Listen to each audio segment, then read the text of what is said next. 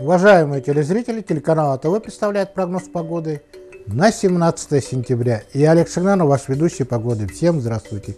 Большой привет Евгению Михееву. Партнер программы «Наше радио» УАН-УД 106,9 FM. Телефон рекламной службы 410 700. Наш город. Наше радио. Улан-Удэ 106 и 9 FM. Наше радио. Одно и навсегда.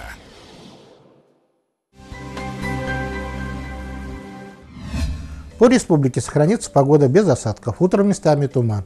Ветер восточный, ночью 3,8, днем 7-12 метров в секунду.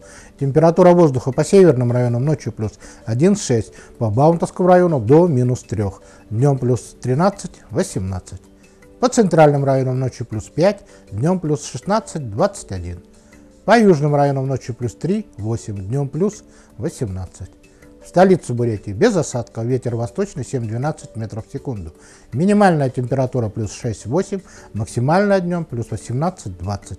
Атмосферное давление существенно не изменится и будет в пределах 724 мм ртутного столба.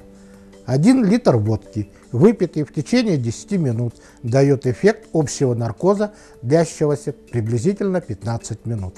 Это был прогноз погоды на Первом альтернативном. С вами был Олег Шигнанов. Но я знаю некоторых людей, которые всю жизнь под наркозом. И нормально.